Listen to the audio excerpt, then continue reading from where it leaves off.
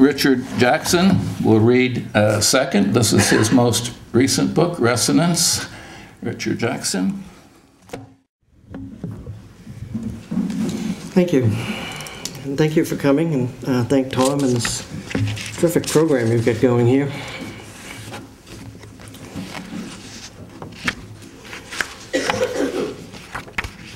I think um, four poems will get us through this. In the 90s, I worked with the um, PEN uh, Peace Committee in Sarajevo and, um, and Slovenia during the Yugoslav wars and took place in Bosnia and Kosovo.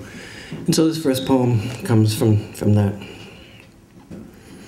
It's called um, Objects in This Mirror Are Closer Than They Appear. Can you hear me okay back there? Because the dawn empties its pockets of our nightmares. Because the wings of birds are dusty with fear. Because another war has eaten its way into the granary of stars. What can console us? Is there so little left to love? Is belief just the poacher's searchlight that always blinds us? and memory just the tracer rounds of desire. Last night, under the broken rudder of the moon, soldiers cut a girl's finger off for the ring, then shot her and the boy who tried to hide under a cloak of woods beyond their Kosovo town. Listen to me. We've become words without meanings, rituals learned from dried riverbeds and the cellars of firebombed houses. Excuses flutter their wings. Another mortar round is arriving from the hills. How long would you say it takes despair to file down a heart? When this morning you woke beside me, you were mumbling how yesterday our words seemed to brush over the marsh grass, the way those herons planed over a morning of ground birds panicking in their nests. When my father left me his GI compass, telling me it was to keep me from losing myself. I never thought where it had led him or would lead me. Today, beside you, I remembered simply the way you eat a persimmon and thought it would be impossible for each drop of rain not to want to touch you. Maybe the names of these simple objects, returning this morning like falcons, will console us. Maybe we can love not just within the darkness, but because of it. Ours is the dream of the snail hoping to leave its track on the moon. We're sending signals to worlds more distant than what radio astronomers can listen for, and yet, and yet what? Maybe your seeds of daylight will take root. Maybe it is for you the sea lifts its shoulders to the moon. For you the smoke of some battle takes the shape of a tree.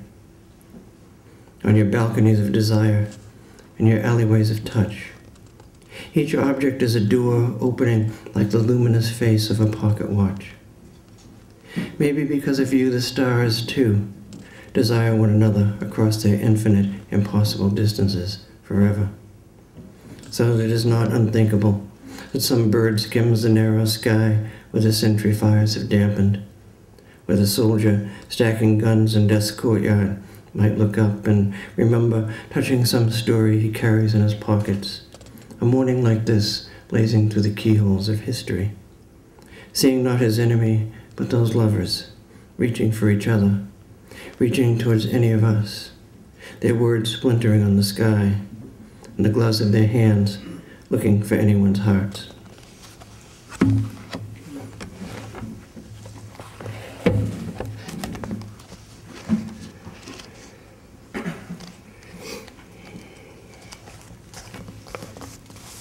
night sky.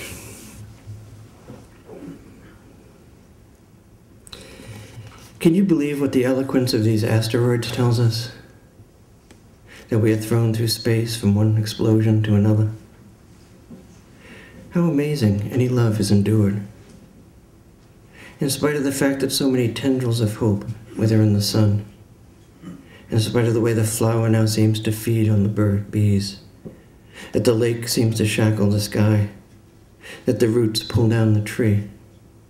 In spite of the fact that the clouds drag the earth toward some new final solution, It doesn't matter where. There's a whole alphabet of hate, a syntax of torture we can hardly understand. Petrified promises take the day by the hand and lead her off into some jungle.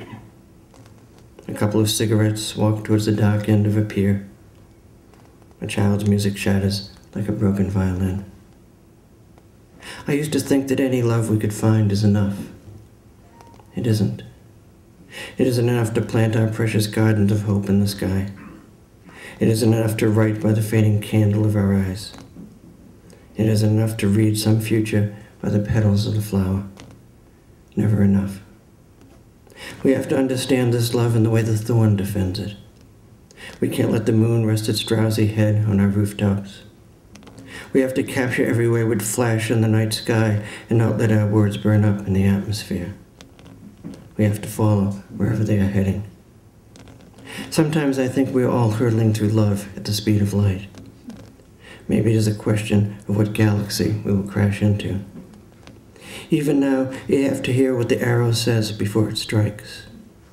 You have to know I will follow you over rivers of stone, even while you hold my heart in your fist. That every love is filled with guilt. Every love tries to conquer a new world. I think sometimes we breathe through the pores of the earth. It is the only way we know the soul's body. The only way we can pass over the hobbled roads of hate. The only way to shudder as the birds shudder crossing the horizon. I'm watching a bat scoop the emptiness from the night, watching the hackberry tree embrace the moon. Sometimes we have to hold hands with our own nightmares.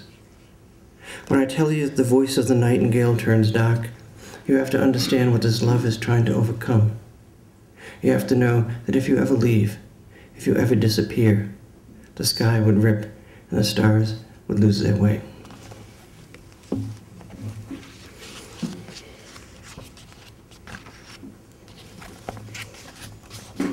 I saw uh, Dan Veach out there before, and uh, from the Atlanta Review, and this poem first uh, appeared in there, so I thought I'd read it for him.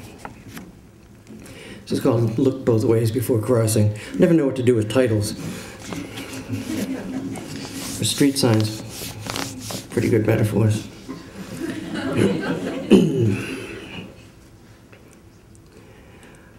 Why is this moment not like that last moment which just now the owl's cry tried to erase? You heard it, that cry from deep within the body. Nothing like the blades of sunset that went ripping through the clouds a moment ago. Nothing like the wounded air the child breathed a moment ago, the pliers tearing at his nails in a place linked to us forever by that moment. Not his hands of ash, the sky suddenly full of tongues, the heart smoldering in the ruins of his past. How can this moment even exist after that other moment? This moment when you arrive, your wings opening, your hips taking the shape from my palms, our timid shadows embracing timidly. How could that other moment even exist where the child's cries spread out like light from a dying star? Where we all seemed dusted by lamplight, when the flowers shuddered from the early frost? Why are we here, not there? a place where the sky beats its wings and flies away, where the road is already tired, where love tends its bruises. Why are the loves we inherit this moment always a kind of death? The girl who believed the empty husks of my own or anyone's dreams, my mother's lungs tightening round her tumors, the torn sail of my father's mind, his words like loose kites wiping the sky clean. But even so, how could that child's moment even exist? There's a hoarse voice calling us back towards whatever terrifies us, which is why at this moment the moonlight seems to drown in the river, while the city lights only seem to suffocate the stars.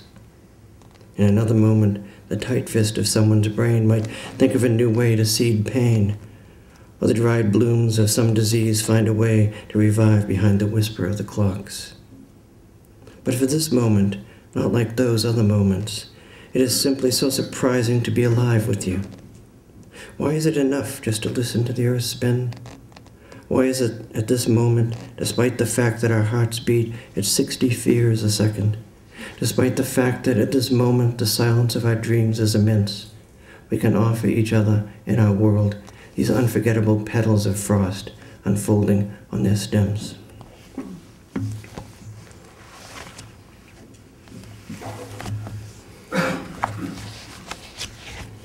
Okay, so this is the caboose of this reading.